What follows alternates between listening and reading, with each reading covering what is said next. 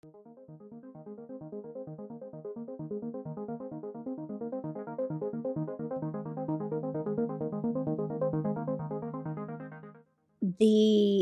energy and excitement in the work that I'm creating, even the larger eight foot paintings, etc., it's always there. I don't because I don't do sketches and then translate them into large paintings.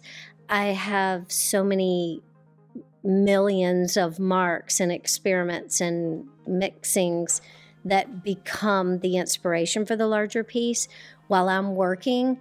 It's exciting every day, every minute, even when I'm measuring and building and taping, because there's a lot of spontaneity in my work, but the spontaneity is balanced with the knowledge that I have from all of the drawings and the decades of experience with my tools and I'm never bored.